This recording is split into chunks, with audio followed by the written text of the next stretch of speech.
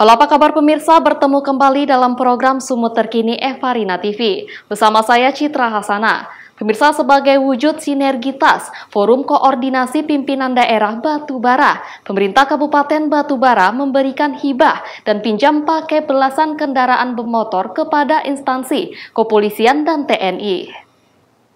Kita kerjasama untuk menunjukkan sinergitas Penyerahan hibah dan pinjam pakai sepeda motor digelar saat kunjungan Kepala Badan Pemelihara Keamanan Kabaharkam Mabes Polri, Komjen Pol Arif Sulisianto, di lapangan sepak bola Blok 88, Kelurahan 50 Kota, Kecamatan 50 Batubara pada 10 Februari lalu.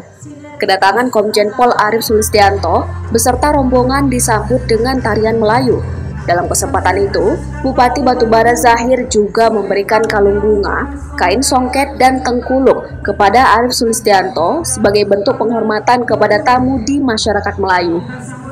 Turut hadir Ketua TP PKK Batubara, Ketua Kadin Batubara, para kepala OPD, serta unsur Forkopimda Batubara.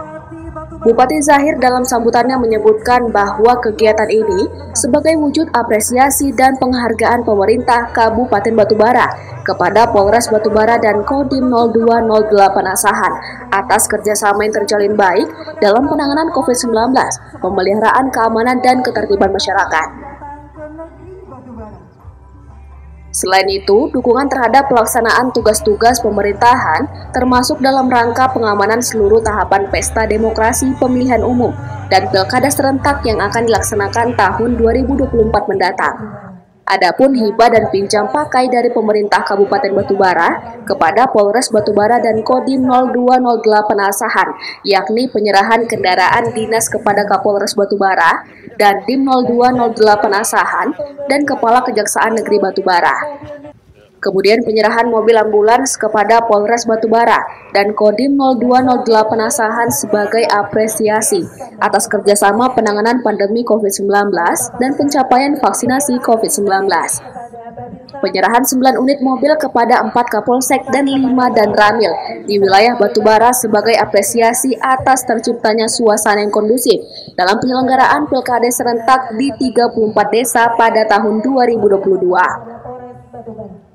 PMK Batubara juga memberikan insentif dalam rangka pembinaan desa dan kelurahan kepada 40 orang Babin Kamtipmas dan 134 Babinsa di wilayah Batubara sebesar 6 juta rupiah per tahun. Kemudian pinjam pakai kendaraan roda 2 sebagai sarana untuk operasional, masing-masing sebanyak 5 unit kepada Polres Batubara dan 5 unit kepada Kodim 0208 Asahan. Selain itu ada juga hibah tanah, bangunan beserta sertifikatnya dan mobiler kepada Polsek 50 yang terletak di Kecamatan 50 Pesisir sebagai wujud komitmen pemerintah Kabupaten Batubara dalam mendukung pemeliharaan keamanan dan ketertiban masyarakat di Kabupaten Batubara. Bupati Zahir berharap ke depan akan terwujud satu desa, terdapat satu orang Babin Kaptimas dan satu orang Babinsa di wilayah Kabupaten Batubara. Taufik melaporkan dari Batubara untuk Evarna TV.